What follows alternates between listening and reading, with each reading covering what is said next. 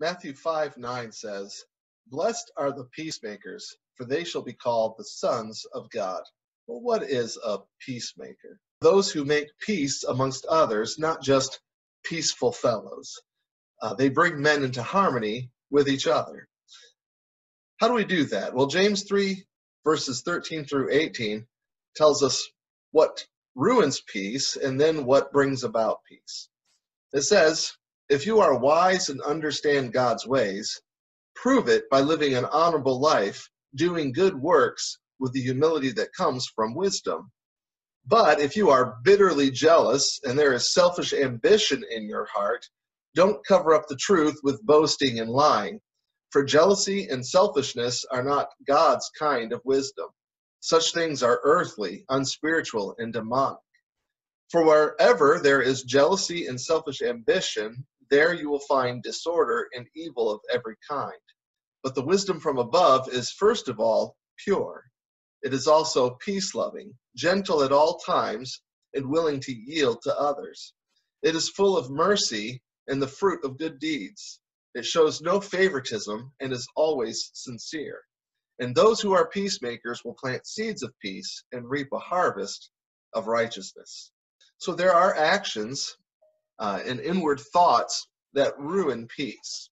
Mainly, two are mentioned here in the passage in James. The first one that's mentioned is jealousy.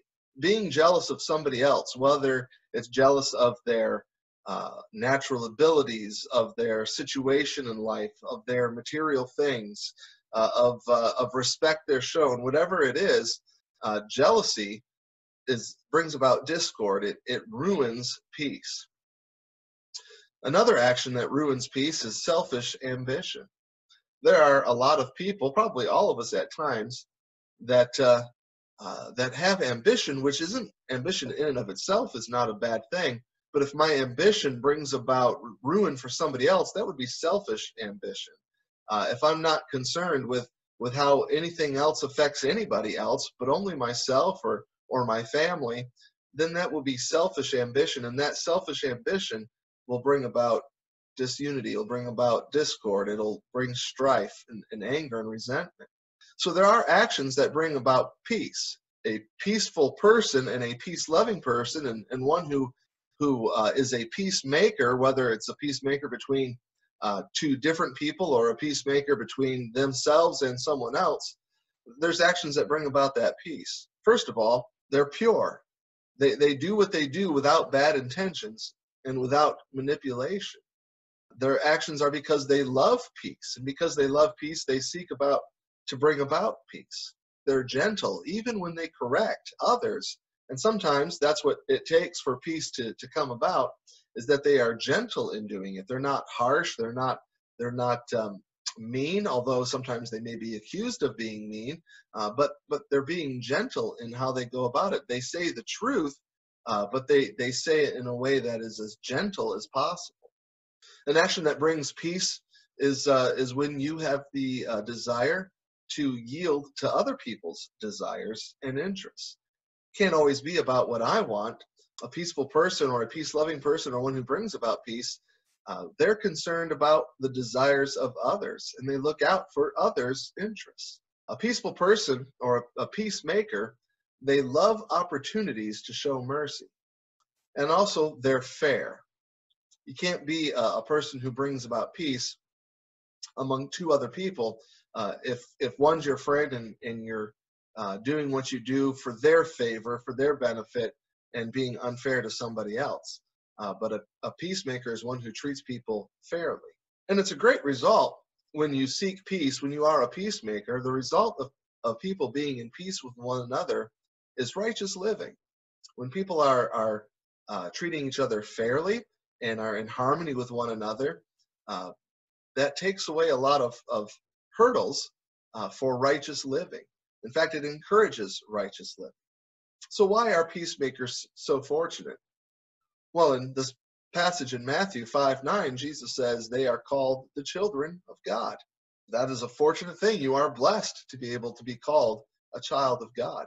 Romans chapter 8, verses 14 through 17 says, For all who are led by the Spirit of God are children of God.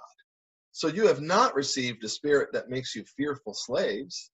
Instead, you received God's spirit when he adopted you as his own children. So now we call him Abba Father, which is, is calling him Dad. For his spirit joins with our spirit to affirm that we are God's children. And since we are his children, we are his heirs. In fact, together with Christ, we are heirs of God's glory. But if we are to share his glory, we must also share his suffering. So the benefit of being called a child of God is having the opportunity or the privilege uh, of not just this formal father relationship with God, him as father and we as his children, but as a, a child would look to his his father and, and call him dad. There's a there's a connection, there's a relationship, there's a tenderness in that. And being an heir with Christ of the Father means that we are heirs of God's glory. In the present, there will be suffering, but in the future, to, to be in the glory of God and to share in that.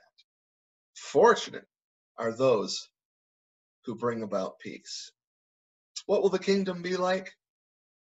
The kingdom will be filled with people who experienced peace with God because of what Christ did when he died on the cross for our sins bringing us from being the enemy of God to being his child, adopted by him.